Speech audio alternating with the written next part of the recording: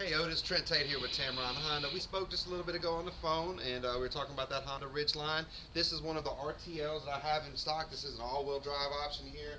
As you can see, great vehicle. North American Truck of the Year for 2017. One of the best reviewed trucks of the whole model year this year.